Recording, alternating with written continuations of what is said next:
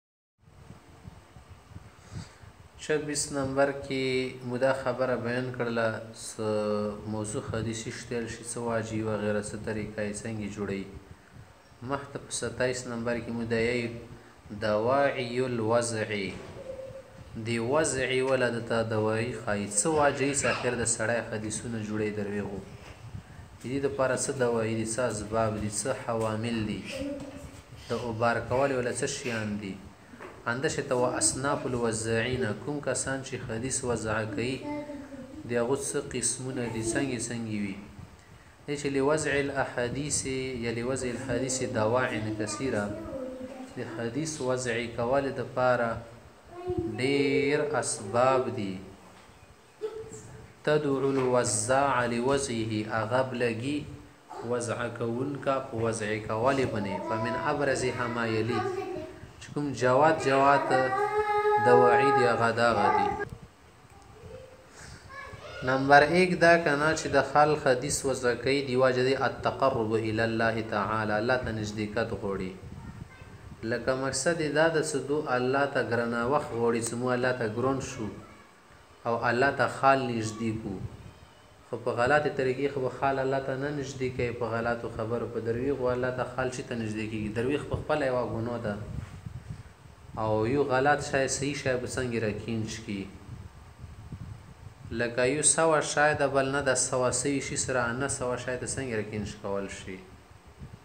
درویغو خو مزال کام وی کنه خپی ورپری نه وی. نو ده ته څنګه بیا دی بنی نور شیونه رو استای شی چی هغه پری خپی بی خپی شای به خپو له څنګه رو ولی ځون سره نو تقرب الی الله کی دا خلک اصل کی دی دین نه ډیر واقف نه وی او یا به واقف وی خو دا شی ته به کوي یا به ډیر واقف نه وی بس دی وچکو له اعمال به کوي صالح به وی خو لکه علم نه به خالی وی اکثر فقاهت سمج بوج درک اعلی درجی و له فراست و ذهانت دوکی نه وی بس عام چی ته فضیلت اوری بیا ته اختایی سار ټیټه ټوټه لګیایی بس چی ته خبره ښه غونی اوری خوږه خبره څه وخت خندا ده بس نوری نشته لکه خبر نی څه هسی ور کی خوږی ور چولی نور دور قیمتی شیانی لکه نن سبا ګوری تاسو خوږه شین زوره ډیر چړی ویکرای کې کمپنۍ جوړی جزی وزو نه وانی سه په خوان دی لوډ شی تی کان دا ده ټول صحت خرپی څه قوت ورکی نشت ساسی تش سیان دی کوم چی قیمتی شیان یا درانه وی هغه ماسی قیمات لری خوان دور کی کام وی وذالک بیوز حدیث لکه زنه دسی خلک الله ته نشدیکات غواړی کنه وزنه خدیثونه زنه نه جوړ کی دی د پاره ترغب الناس فی الخیرات خلکو ته خیرات ترغیبر کی سره د سیره غلی نه یی بس ځانه نه جوړه کی دسی صدا کوه کی بیا دا ثوابی ده دسی دسی کی وی کی بیا دا ثوابی ده سره حدیث کی هسی رغلی نه یی بس نفسی خبر رغلی صدا کوه که اوس ورکی دا نوری کوم ځی نه راغلی په دی ټیمی وه کی بیا دا ثواب یا که مسخوتن چا صدا کوه وبسله بیا څه دری چر ګیا وی کنه نه بیا دسی دسی ته وه کی بیا دسی دسی بیا دوره ثوابی ده. ندی مقصد دای څه خلکو باندې نیکۍ ګټل غوړي نه نیکۍ نه شي ګټل صحیح ځکه چې د دوه له دا کور څه د صحیح نه د نیکۍ په صحیح کور ملایږي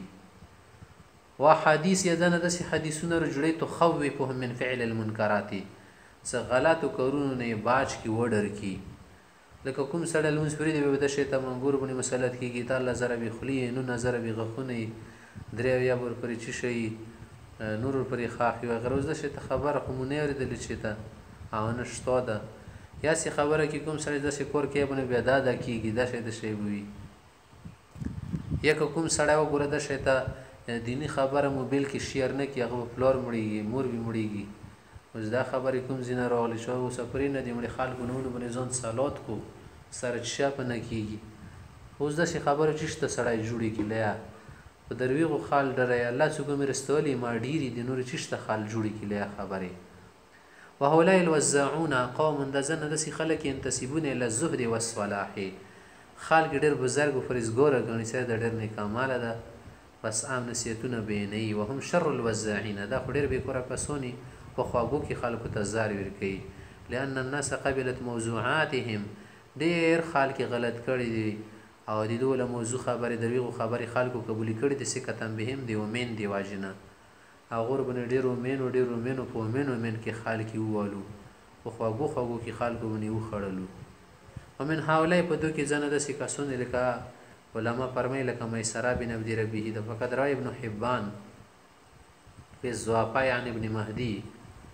ابن حبان په ضعفا کتاب کې د ابن مهدي نه نقل کړی دی قول قلت لمیسره بن عبد ربه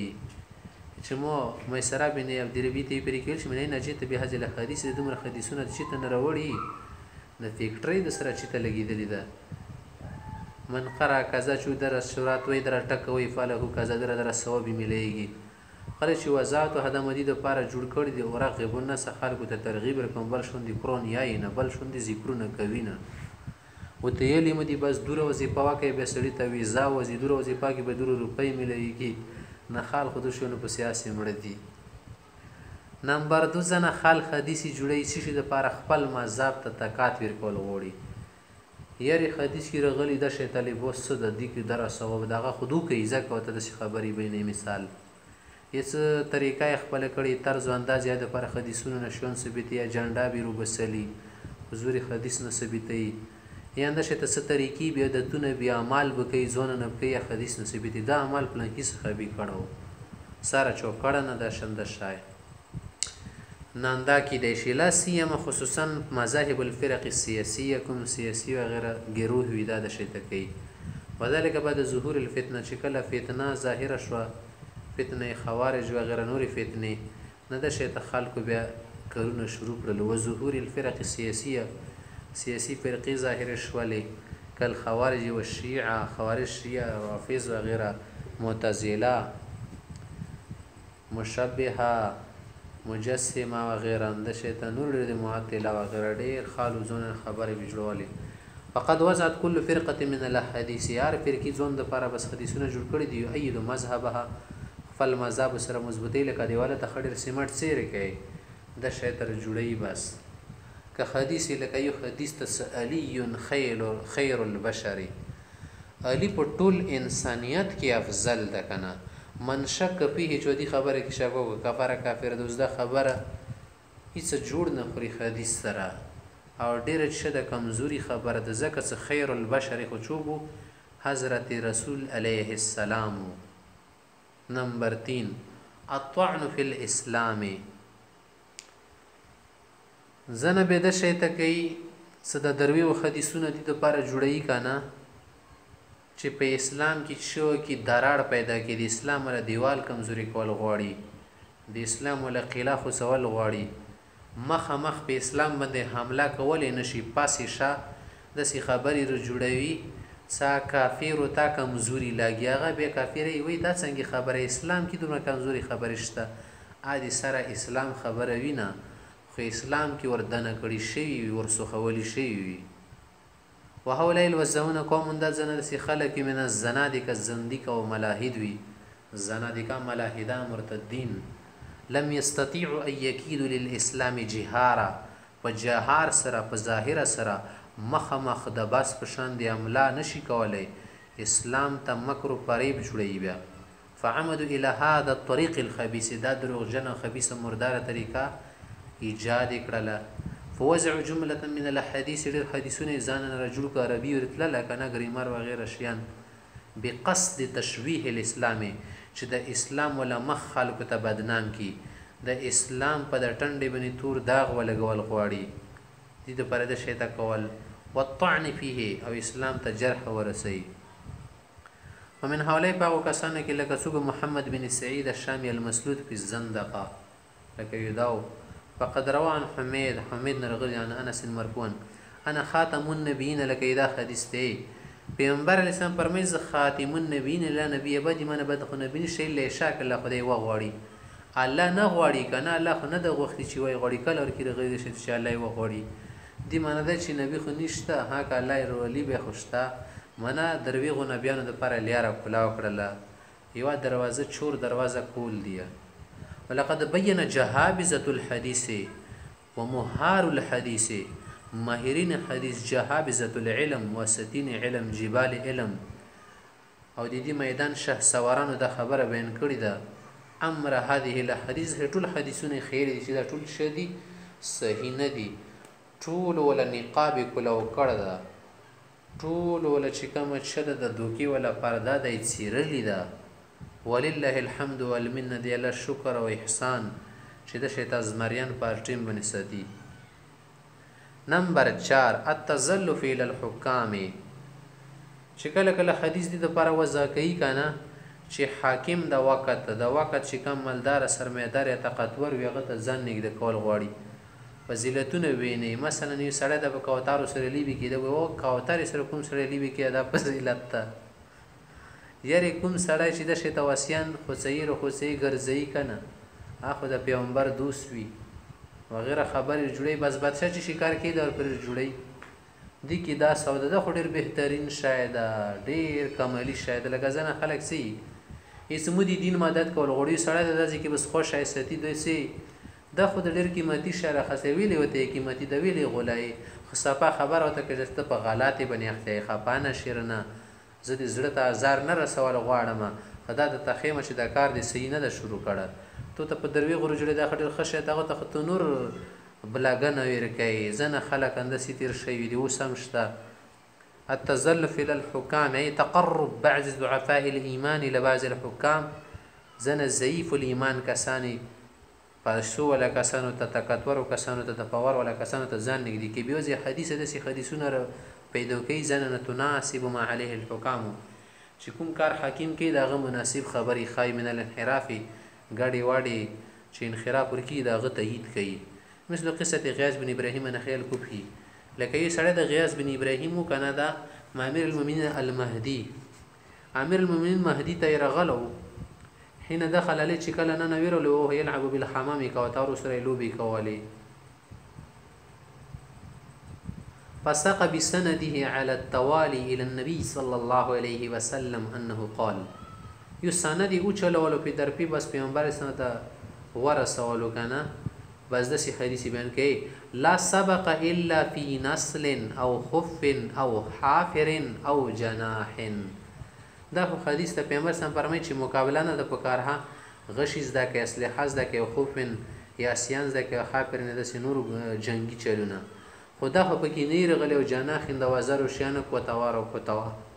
فضا ده کلمه او جناح د جناح ټکی په کې ځانه نه زيات کو کوتارې ته اشاره وه کنه کوتارې وه زر وي لاجل المهدي مهدي د پر چې مهدي رنه خوشحال شي ماته به انعام راکي فعرف المهدي ذلک او مهدي پوه شو چې دا سړی خو د پيسو د پاره حدیثونه بدلوي توبه خدایه نه فامر بذبح الحمام فورا یې حکم وکړو چې دا کوتره حلاله کړئ د دي لاسه خو خال دروغو ته لاړو وقالو چې انا حملت علی ذلک دا خو ما پرې وبلګلو که ما دا لوبې نه کوله ولې به خلکو حدیثونه جوړول وطرد هذا الوضاع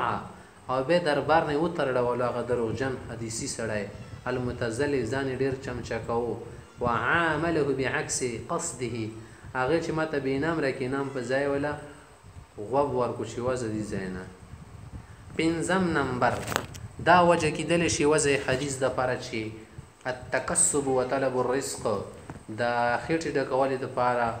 او د ځان د پیسو ګټلې دپاره او د کار روانه دپاره چې د ډوډۍ نه وړۍ کار مي روان شي چرته حديثونه بينې چي کدي لرته وظيفه مکرره شي بس درته چي بس دي زينه مسه دعا نه مي اونه بسې. که بعضي القصاص لکه ځنه قصه ګو کسان تير شوي دي قصې به بنالي هغه کيسي څه نه قران کي شته نه حديث کي شته. الذين يتکسبون بالتحدث الي الناس خلکو ته د خبرو په واجب نه وي پيسې ګټلې ښې خواږي خبرې به نه له خلکو يې نومر په هوه خوله نن خو د ډيره خوندوره کيسه بيان که افرين دي وي فيريدون بعض القصص المسليه ځنه دسې کيسې په بيان کې زړه ته به تسلي سړي ته ورکه دروي خو خواږه وي کنه ولا عجيبه عجيبه عجيبي خبرې به وه کيسه راشان دي بونه عجیبی خبری خواسې پیژنې تاسو خو هوښیاران خلک یې ځان په زوره بنې مه نا ګوره کوی حتی یستمع الیهم الناس خلکو به هغه خبری یا ډیری ښې اوریدلې ځکه د روح شو کنه او د کمزوری خبری دا ډیری خوږی وی و یوتوهم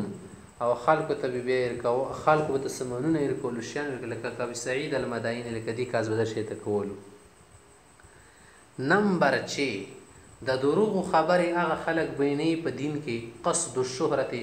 چه دچا مشهورتی ته ارادی چه مشهور شم چه د زر زر وذلک بایراد الحدیث الغریب هغه اجنبی اجنبی نا اشنا خبری اوټ پټانګ خبری بینی التی لا توجد عند احد من شیوخ الحدیث چه علمای حدیث سره نه وی. فيقلبون سند الحديث سند کې بدلوالی راولي ليستغرب چې نور عجيب ښکاره شي فيرغب في سماع منهم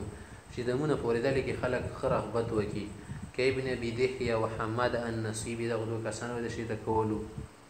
يا ځنه داسې خبرې بيني چې وګوره پلانی د داسې خبرې بيني اوس پرې موږ د يو عالم نه نه دي اورېدلي عالمانو ته څه زده زده خو دي دي سړي ته زده توبه خدايه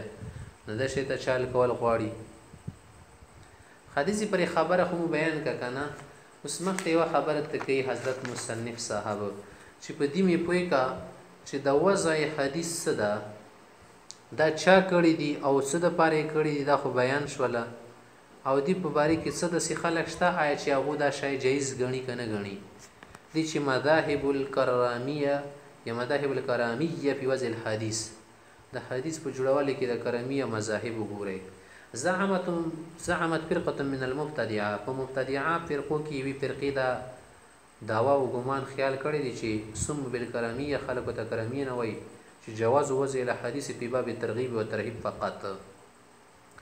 چی نور څه شرعی حکم دپاره خو خدیث جوړول صحیح نه دی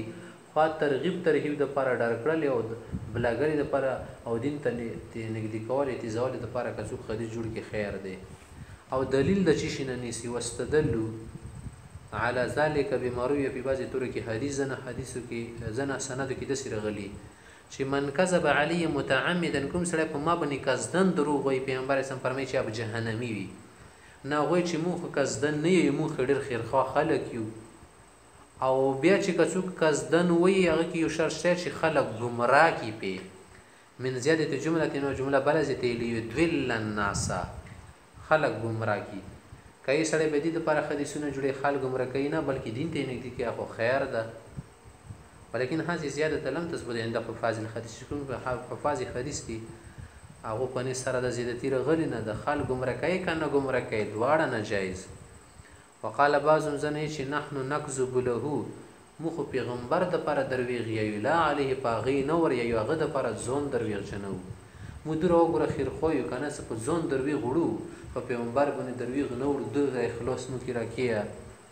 وګوره په خپل ځان باندې زياړې بردش کوو خپل ځان باندې تکليف بردش کوو خو پيغمبر باندې نه بردش کوو څه ته چوک باد ارادي وکي يا مو خير د شاید درويجان شو چې پيغمبر ته خال نږي شي نو دا خبره صحیح نه شو کنه ویلي درويجان شي ځکه پيغمبر یې لې چې درويجان به جهنمي وي کنه درويخ چې شدي الله ته نه دی خواخه پيغمبر یې چې درويجان الله ته نه ده خواخه ته ځان درويخ جنای د کومه خیر خوښ ولا پيغمبر د پاره ها د نه نفرت کي تو ته ځون په زوره نژدې کئ يو سړی دی تئ څه ورک ته مخ تي ورک که تو ته ما سي نژدې کيږي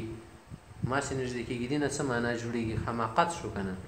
وهذا استدلال في غاية السخف دا خو ډير کمزوره او بيوقوفتوب ولا استدلال ده فإن النبي صلی الله عليه وسلم لا يحتاج شرعه الکريم الى کذا الا کذابین د پیامبر علی سلام ولا شریعت خو دسی دروغجنو ته نه ده مختاج لیره وی جوه څو دوی له ته مخته روان کی خالکو ته یی ورسوی د پیغمبر شریعت غیرتمندو ته اړتیا لری وهذا الزعم خلاف اجماع المسلمین دشی ته ګمان څه ده دخه د مسلمانانو اتفاق خلاف ده حتی بالغ الشیخ ابو محمد الجوینی دی سړی خو مبالغه کړی ده لا غونی اعتدال نه لګه خبره وتلی ده په جزم بی تکفیر واضع الحدیث او وایی چی واضع الحدیث کافر انسان وی سره مسلمان نه وی ده پیغمبر بنه دروخ تړی خو صحیح خبره ده علماء فرمایی چی دسر سړی عغایت درجی کی فاسق بوی خطو بعض المفسرین فی ذکر بعض الاحادیث الموضوع فی تفسیر یوه خبره ته کیی چی دا ځنه دسی کتابونه تفسیرونه دی کنه چی دی کی علماو ضعیف حدیثونه ذکر کړی دی یا نا موضوع حدیث ذکر کړی دی ای چی هغه مقصد دا نه و چی دا دین په شکل کی خلکو ته ورسیی خو یوا کمزوری ته نه ده شی د چی د حدیث وضع به نه ده بیان کړی کنه لکه حدیث وضع وی بیا به اخر کی ښایی چی دا دروغ خبره ده کنه چی څوک پی غلط نشی ځنو تصریح نه ده کړه ځنو بیا کړی ځنو بس بیا میکس ور داخل کړی دی هغه دی وجی نه خلکو ته ډیری خطایانی غلطیانی شوی دی نه دو دی د پاره ذکر کړی مقصد حسن د پاره ځنو بیا اسی ذکر کړی دی بلا ارادتن یا ارادتن. خدات ته خیله کدا خسا ال اخت و اباز المفسرین فی ذکر من حدیث موضوع فی تفسیر ځنو علماء و مفسرینو دا غلطی کړی ده چی تفسیرو کی ټول موضوع حدیث روی نه ځنه موضوع حدیث روی ټول نه ځنه من غیر بیان وضع وضع بیا نه بیانی لاسیما الحدیث المروی عن ابی بن کعب لکه یو حدیث ته چی ابی صاحب نه مروی ده فی فضائل سورة فی فضائل القرآن سورة سورة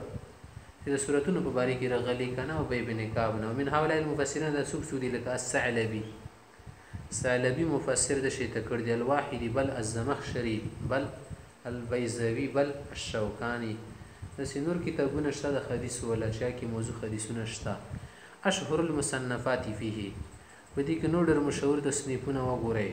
کتاب الموضوعات لابن الجوزي رحمه الله من اقدم ما صنف فی هذا الفن دا ټول نه مخکې لیکل شوي وو لکنه متساهل فی الحکم علی الحدیث بالوضع خو دا لږ په حدیث کې تساهل کوي سختی نه کار نه اخلي لذا انتقده العلماء وتعقبوه ځکه ځنو علماو د دې کتاب باندې نقد کړی د انتقاد یې کړی او د دې پسې تفتیش او تحقیق یې کړی ده درپېښ شوي دي ورپسې نمبر دو د الاعالي المصنوعه في الاحاديث الموضوعه للسيوطي رحمه الله جلال الدين سيوطي صاحب ده وهو اختصار لکتاب ابن الجوزي د دې نه مختصر کړ ده وتعقيب عليه هغه پسې چې کوم شيانو کې تساهل شوی هغه يې چه کړي دي معقب کړي دي وزيادات نور داسې فائدې پکې شته لم يذکرها ابن الجوزي ابن الجوزی صاحب نه دی ذکر کړی نمبر تین د تنزیه الشریعه المرفوعه عن الحدیث الشنیعه الموضوعه لابن عراق الکنانی د دې صاحب لیکلی دی وهو تلخیص لسابقیه د مخکې دوه کتابونو نه مختصر دی وهو کتاب حافل د خ ډک کتاب د فائدونه لکه چنګي بس کې کسان ډیر کینه حافل منه ډک محذب او ډیر خیسته دی مفید ډیر فائدہ مند دی